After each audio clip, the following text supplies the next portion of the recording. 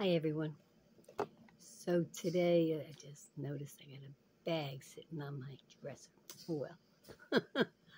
so today's is going to be about picking and teasing. A lot of times people do it out of fun, out of jest. It's it's okay. It's just having fun. And some people just raise their kids that way, and then their grandkids and their great grand. It's kind of normal for them but then what was teasing and jesting and having fun today is being put as bullying. And I can see both sides because I've seen the situations where the kids come up that way. But then I've seen the other side of the coin where people have been bullied. And even though it's just seeming like the two kids are having fun picking on each other, they end up getting suspended. And the serious consequences behind it. So we just have to be able to pray for them and show them the different directions. Putting your shoes on the other feet, but they're both doing, they're both at the same thing as doing it, and it's being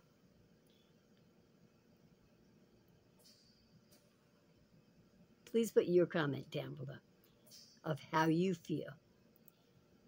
Do you think they shouldn't be suspended for it?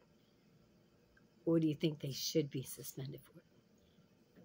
Because I know it can get bad, but some of it, from what I've heard, is not that bad, but at the same time, they're still getting suspended. So obviously, it must be pretty bad. Or at least I think it would must be pretty bad. But what's your what's your opinion? All right, Lord our Heavenly Father, we place all the kids out to you and all the adults that seemingly don't realize how much the little picking and teasing is putting harm on them. Because they go back and they do the same thing. The kids follow us. They lead by example. I didn't set very good examples. You already know that. But we want people to set really good examples for the future. In Jesus Christ's name. Amen. Bye for now.